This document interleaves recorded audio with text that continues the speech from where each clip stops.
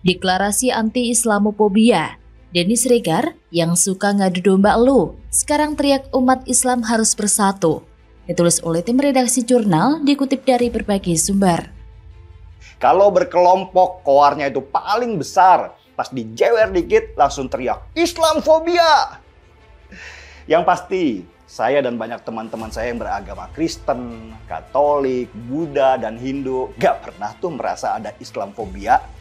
Kami hanya merasa kadrun fobia atau ketakutan berlebih pada kadrun. Mungkin bukan takut sih, lebih tepatnya jijik, seperti jijik pada kecoa.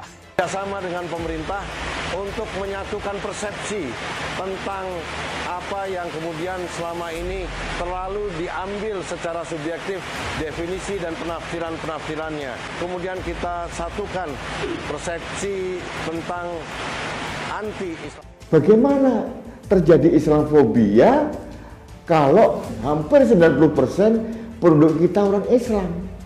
Apa yang ditakutkan?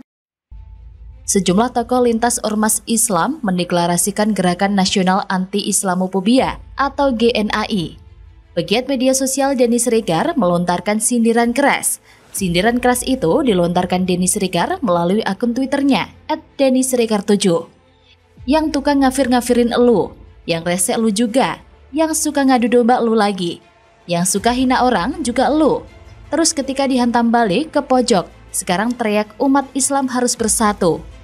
Tulis Denis Regar pada Sabtu malam 16 Juni 2022. Kan bang? Sat. Lanjut Denis Regar. Jutan Denis Regar itu disertai sebuah poster dari GNAI yang bertuliskan Stop Islamophobia. Umat Islam harus bersatu, jangan mau diadu. Sementara deklarasi GNAI digelar di Aula Buya Hamka, Masjid Al-Azhar Jakarta. Wakil Ketua MPR RI Hidayat Nur Wahid, Ketua Persaudaraan Alumni 212 Selamat Ma'arif, Sekretaris Jenderal PP Syarikat Islam Ferry Juliantono, Wakil Ketua Partai Umat Buniani hadir dalam acara ini seperti yang dilansir sindonews.com pada Jumat 15 Juli 2022. Inisiator dan pendiri GNAI sendiri adalah Wakil Ketua Majelis Ulama Indonesia atau MUI, Buya Anwar Abbas. Sekretaris Jenderal PP Syariat Islam, Ferry Juliantono, cucu pendiri Nahdlatul Ulama, Kiai Haji Wahab Hasbullah, yaitu Gus Aam, Ahmad Dhani Prastio, Habib Muksin, Ustadz Umar Hussein, dan Ustadz Alfian Tanjung. Deklarasi dan pernyataan sikap GNAI ini dibacakan oleh Presidium GNAI Ferry Juliantono. Ferry mengatakan, pasca era Perang Dingin, dunia Barat mengalihkan sumber ancaman dan bahaya dari komunisme ke Islam yang termanifestasi dalam bentuk radikalisme, fundamentalisme, dan pengacau yang mengakibatkan munculnya stigma terhadap ajaran Islam sebagai ajaran yang berbahaya dan menakutkan atau dikenal sebagai Islamofobia. Ferry mengatakan, setelah puluhan tahun berlangsung tanpa bukti-bukti ilmiah, akhirnya muncul kesadaran baru bahwa sumber ancaman dunia berasal dari ajaran Islam tidaklah benar, tidak produktif, bahkan destruktif bagi pergaulan internasional. Maka dengan pengucapan Bismillahirrahmanirrahim pada hari ini Jumat 15 Juli 2022 Masehi yang bertepatan dengan 15 Julhijjah 1443 Hijriah, kami mendeklarasikan berdirinya Gerakan Nasional Anti-Islamophobia atau GNAI dengan penuh harapan. Semoga Allah meridhoinya tegas Ferry. Melihat jejak orang lain, apakah kalian yakin tidak ada niat politik di balik deklarasi GNAI? Sebagai perbandingan, lihat kembali nih, Gerakan Koalisi Aksi Menyelamatkan Indonesia atau KAMI. Salah satu deklaratornya adalah Din Syamsuddin dan Gatot Nurmantio. Katanya bukan gerakan politik, tapi gerakan untuk menyelamatkan Indonesia.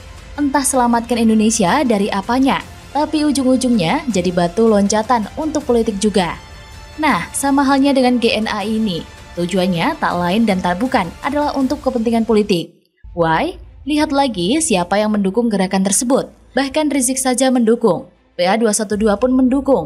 Petinggi PKS pun mendukung juga. Tidak ada NU atau Muhammadiyah di sana. Ini adalah politik agama dalam wajah baru. Dengan gerakan ini, mereka memposisikan diri sebagai kelompok suci pembela agama. Sedangkan lawan mereka akan dianggap sebagai orang-orang yang menggaungkan narasi Islamofobia, misalnya Denis Regar, Abu Janda, dan lain-lain, atau bahkan pemerintah nih. Siapa pun yang berseberangan dengan mereka bisa jadi akan dianggap anti-Islam, dan ini akan dipolitisasi sedemikian rupanya. Yakin kalau mereka tidak akan melakukan ini di pemilu atau pilpres pada tahun 2024, kelompok yang sama yang memainkan agama pada pilpres lalu. Gerakan ini lebih mengena karena bersinggungan langsung dengan agama. Kalau narasi antek PKI rasanya sulit menyentuh logika masyarakat awam sekalipun. Tapi kalau narasi anti-Islam lebih mudah meyakinkan masyarakat. Anggap saja mereka khawatir jelang 2024. Si mesum yang sedang dipenjara itu tidak bisa lagi memimpin gerombolan-gerombolan dungu untuk ikut dalam politik. Maka dengan segala cara mereka menggalang kekuatan dengan narasi yang aneh. Mereka yang mendukung GNAI adalah kelompok lama, kelompok itu-itu juga. Kalau masyarakat masih belum sadar, apalagi beri panggung ke mereka.